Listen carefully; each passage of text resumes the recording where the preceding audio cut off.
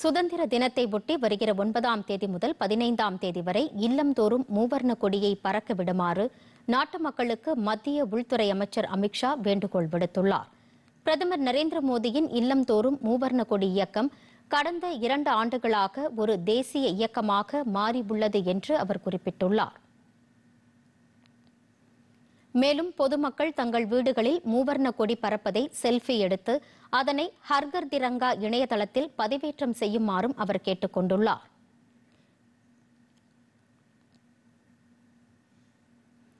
இந்த நடவடிக்கை நாடு முழுவதும் உள்ள இந்தியர்களிடையே அடிப்படை ஒற்றுமை குறித்து விழிப்புணர்வு ஏற்படுத்துவதாக உள்ளதென்றும் அமித்ஷா தெரிவித்துள்ளார்.